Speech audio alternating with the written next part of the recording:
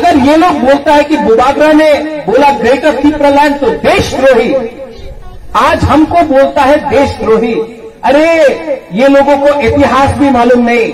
हमारा दादी कंचन प्रभा देवी ने पूरा त्रिपुरा हिंदुस्तान को दिया है। उसका नाती देशद्रोही नहीं, अपना हाँ से प्यार करता है, अपना तिपरा सा से प्यार करता है। मैं भी रेडी हूँ देश का तिरंगा लेकर जाने के लिए। मैं भी रेडी हूँ। आज अगर बांग्लादेश से इलीगल इमिग्रेंट्स आएगा तो कौन हमारा हिंदुस्तान को सुरक्षा देगा? हम लोग का बुकुंबारा लोग सीमा बॉर्डर में खड़ा होकर अपना तिप्रसा के संग रहेगा आज ये ज़मीन को, ये हा को हम लोग तिपरासा से ज़्यादा प्यार कौन कर सकता है? ये हानि पुसा हम लोग हानि पुसा है। और ये लोग बोल रहा है कि देशद्रोही है। अरे, देशद्रोही तो वो लोग हैं जो जाति धर्म के नाम में दंगा लड़ाता है। देशद्रोही तो वो लोग हैं जो हिंदू, मुसलमान, बुद्धिस्ट, क्रिश्चियन के बीच में दंगा लड़ाता है। पित्रा मोथा ने कभी भी धर्म का राजनीति नहीं किया है और ना करने देगा। आज भी त्रिपुरा में माँ मंगल चंडी का मंदिर देख लो, त्रिपुरा सुंदरी का मंदिर देख लो।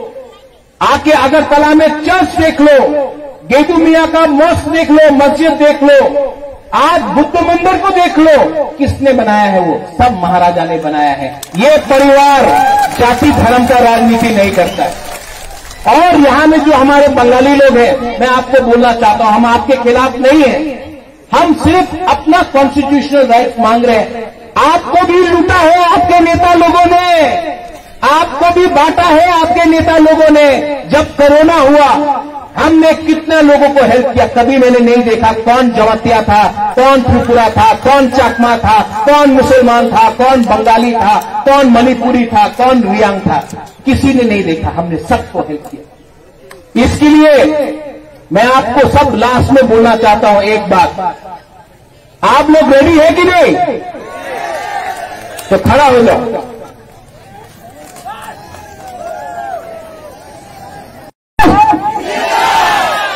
हारेगा तो लेकिन वन